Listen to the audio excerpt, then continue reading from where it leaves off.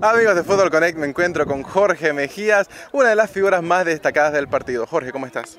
Muy bien, muy buenos días, gracias por la entrevista. ¿no? Aquí contento, ¿no? festejando con, con, el equipo, que es un triunfo, gracias a Dios, ¿no? A, a, que es una familia esto para nosotros. ¿no? Y gracias a Dios se nos dio el triunfo. No, terminó el partido y todos quieren una foto con Jorge. ¿Qué significa este cariño de la gente para vos? No, gracias a ellos, ¿no? por su cariño. Ahorita, gracias a Dios, me, me llegó una convocatoria ¿no? en la sub-23. De aquí nomás me estoy yendo ahorita para allá a concentrar nuevamente porque estaba allá y se me dieron una oportunidad para venir a atajar acá. Bueno, terminando el 2019 y empezando el 2020 de la mejor manera. ¿Qué nuevos retos y cómo vas a enfrentar estos nuevos desafíos?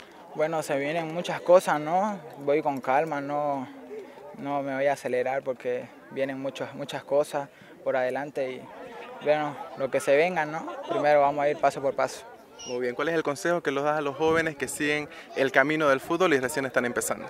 Bueno, no, el consejo es que nunca se desvíen, que escuchen los consejos de los padres, de los amigos, ¿no? Que, que sí se metan al fútbol, al estudio, ¿no? Que es lo mejor.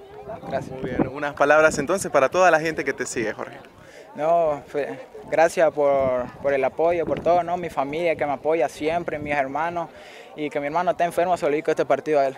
Gracias. Okay, muchas gracias, Jorge, y todo lo mejor para este 2020. Gracias. Gracias. Una foto te...